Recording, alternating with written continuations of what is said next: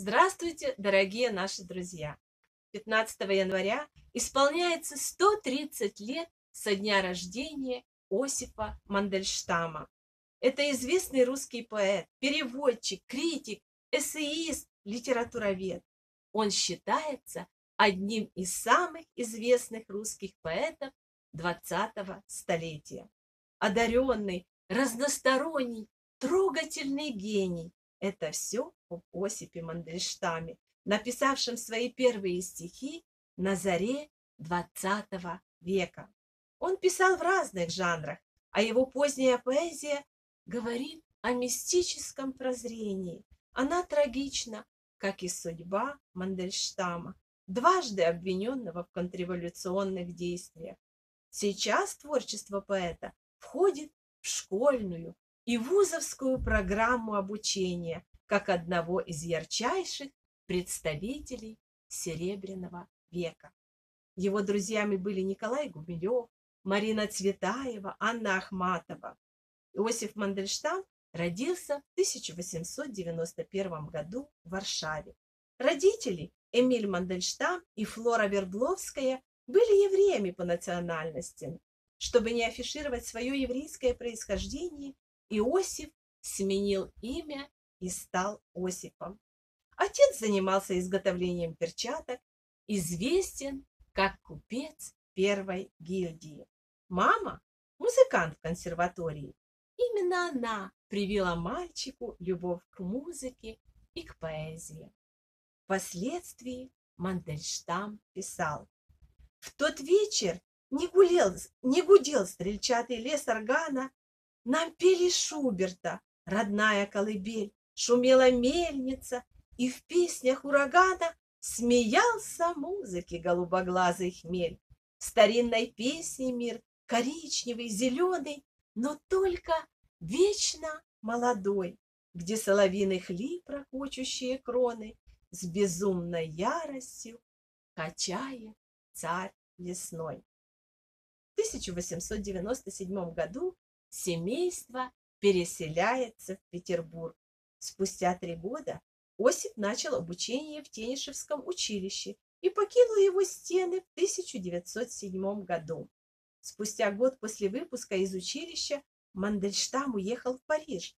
Он стал студентом университета в Сорбонне. На протяжении двух лет молодой человек усердно учился. В то же время он встретил Николая Гумилева, полюбил французскую поэзию и эпос. Больше всего Осипу импонирует Бодлер, Франсуа Вийон, Берлен. Он частенько бывает в Петербурге, не пропускает ни одной поэтической лекции, которые читает Вячеслав Иванов. Учится премудрости слагать стихи. Именно в те годы он написал одно из самых трогательных стихотворений под названием «Нежнее нежного». Оно посвящалось Марине Цветаевой и стало знаковым в биографии поэта. Мандельштам почти никогда не писал любовную лирику. Он говорил, что в его творчестве присутствует любовная немота. Начиная с 1911 года финансовое положение Эмиля Мандельштама пошатнулось. У него больше нет средств для обучения сына в Европе. Осип вынужден вернуться в Петербург и поступить на историко-филологический факультет. Своей специализацией молодой человек выбрал романо-германское отделение. Осип учился не очень старательно, числился в этом учебном заведении вплоть до 1917 года, но диплом по специальности так и не получил. Но сам Петербург Осип полюбил на всю жизнь. Скажу и теперь, не обинуясь, что семи или восьми лет весь массив Петербурга, гранитные и торцовые кварталы, все это нежное сердце города с разливом площадей, с островами памятником, кариатидами Эрмитажа я считал чем-то священным и праздничным. Все свое детство и юность провел Осип Мандельштам в этом городе. Петербург – это сквозная тема его творчества. Он присутствует во всех книгах поэта, в стихах и в прозе. Мандельштам продолжает дружить с Гумилевым. часто гостит у него. Именно там он встретил Анну Ахматову, с которой тоже завязались дружеские отношения. Мандельштам становится частым гостем у Читы Гумилевых. Он считал дружбу с ними одной из самых главных удач своей жизни.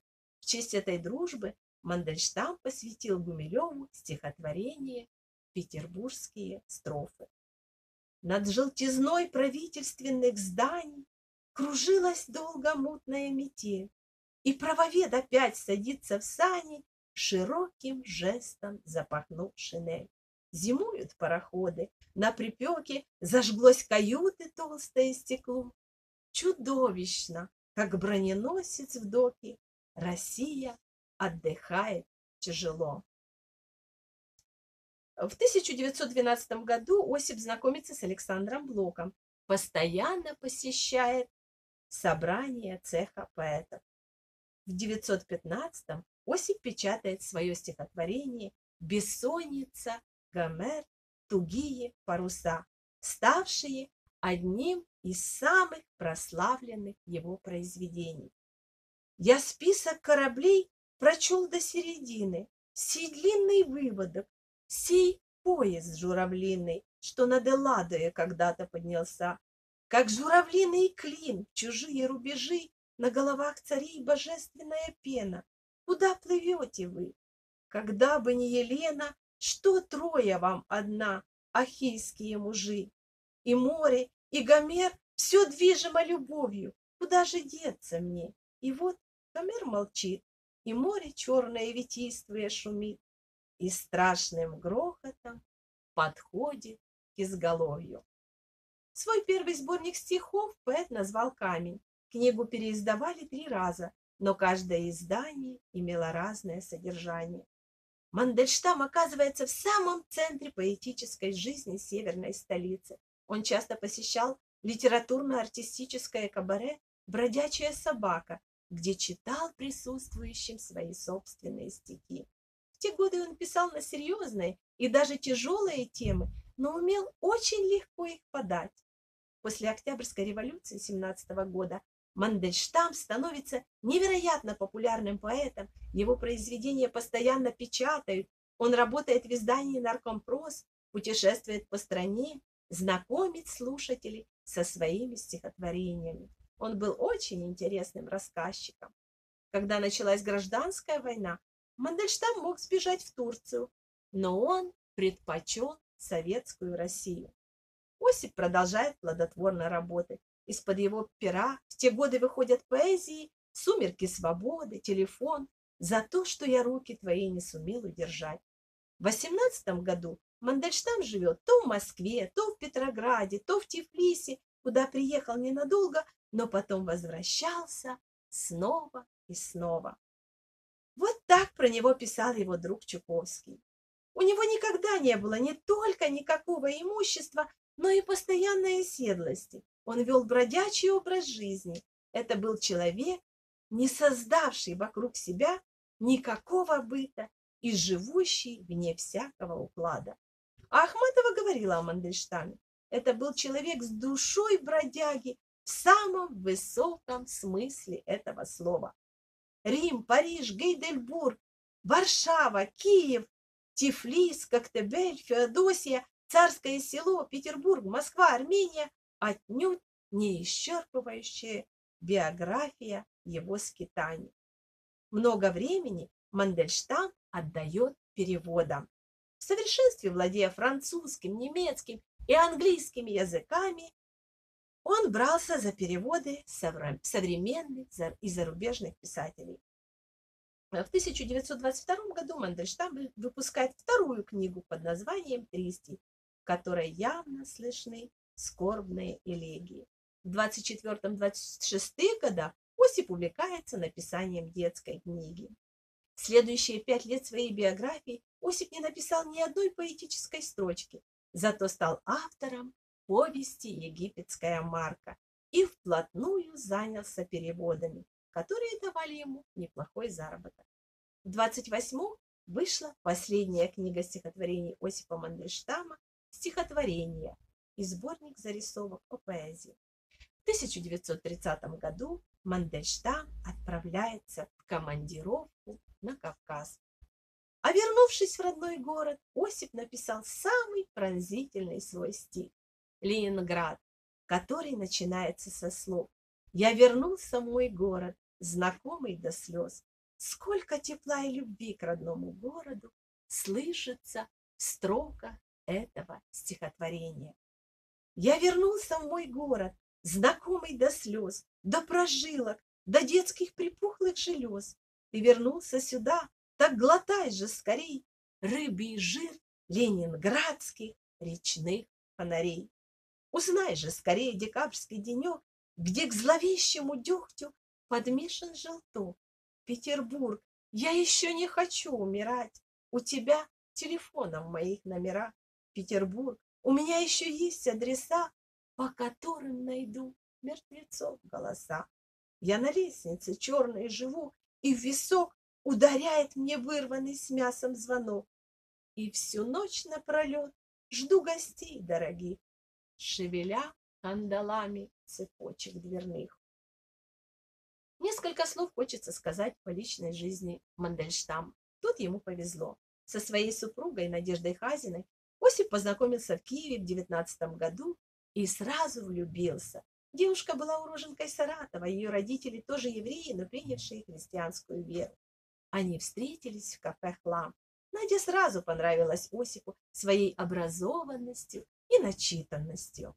Осип ухаживал красиво, дарил букеты красивых цветов, водяных лилий, и было видно, что молодые люди серьезно увлечены друг другом. Личная жизнь поэта сложилась очень счастливо. Супруга стала надежным помощником и соратником во всех делах. А детей у них не было. Надя сопровождала Осипа во всех его поездках, а их было достаточно много. Они объездили Россию, Украину, Грузию. Официально оформили свои отношения в 22 году. Супруга отправилась за Мандельштамом и в ссылку. Советская действительность все больше шокирует ранимую душу поэта. Осип много ездил по стране, видел тяжелую жизнь народа, голод и нищету, и это не могло не найти отражения в его произведениях. В 1933 году он пишет стих «Мы живем под собою, не чуя страны», который впоследствии получил негласное название «Эпиграмма на Сталина». Он прочел его Борису Пастернаку, но известный поэт посоветовал Осипу сжечь даже черновики этого стиха и никому больше не показывать. Он назвал поступок Осипа чистым самоубийством. Однако Мандельштам проигнорировал совет коллеги по цеху и в ноябре 1933 года прочел это стихотворение небольшой группе слушателей, среди которых оказался и человек, который настрочил донос на Мандельштама. Осип предчувствовал развитие событий, и это предчувствие выразил в стихотворении под названием «За гремучую доблесть грядущих веков». В нем четкое описание трагизма судьбы поэта. Мандельштама арестовали. Жена все это время поддерживала Осипа как могла. Именно она рассылала многочисленные письма, пытаясь привлечь внимание общественности к судьбе поэта. Благодаря ей были задействованы все друзья, знакомые, многочисленные инстанции. Вскоре супруги получают разрешение на переезд в город Воронеж. Нищенское существование супругов Мандельштам в этом городе длилось вплоть до 1937 года. После этого они поселяются в Москве. Однако дело Мандельштама находится в процессе. Нездоровый интерес к поэту поддерживается негативным отношением к его творчеству со стороны коллеги Союза писателей. Много так называемых доброжелателей характеризуют стихи Осипа как клеветнические и похабные. В итоге это привело к тому, что в 1938 году Мандельштама снова арестовали, и на этот раз он должен был находиться в ссылке на Дальнем Востоке.